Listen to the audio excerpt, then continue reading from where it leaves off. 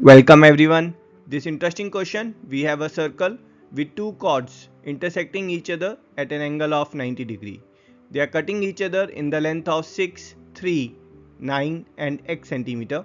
Exciting part is with this limited data we have to find area of this blue shaded region. Let's check this simple and elegant solution. We'll first find the length ED here then we'll find the area of full circle and then last we'll find the blue shaded region. Let's find ED first. So for that we'll apply intersecting chord theorem. So we have AE times EB is CE times ED. Putting the values here and solving it will get ED length as 2 centimeter. So this length ED it's 2 centimeter. Now to find the area we need radius of the circle. And for that we'll apply perpendicular chord theorem. That is in a circle if two chords they are intersecting each other at an angle of 90 degree then AE square plus EB square plus CE square plus ED square. That's equals to diameter square. Putting the values here we have got 6 square plus 3 square plus 9 square and plus 2 square that's equals to diameter square or 2r square.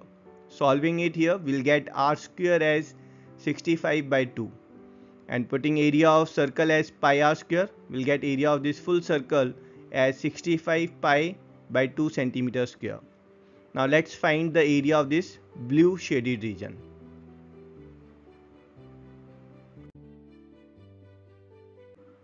We can divide the circle in two areas, the white region and the blue region.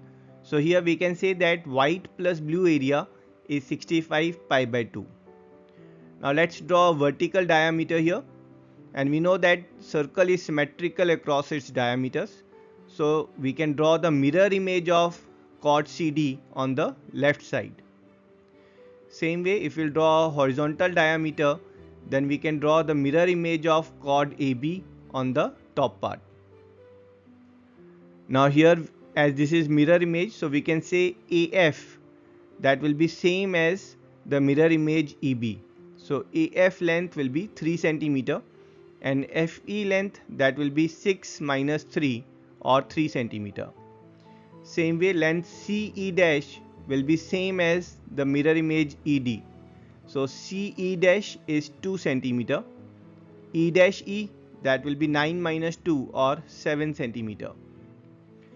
Now if we'll consider the mirror images, so this blue region CE dash B, this region if it's A centimeter square, then CF dash A, that's a mirror image, it will be congruent. This will also be A centimeter square. So if this is B, this region will also be B. If this is C, this will be C.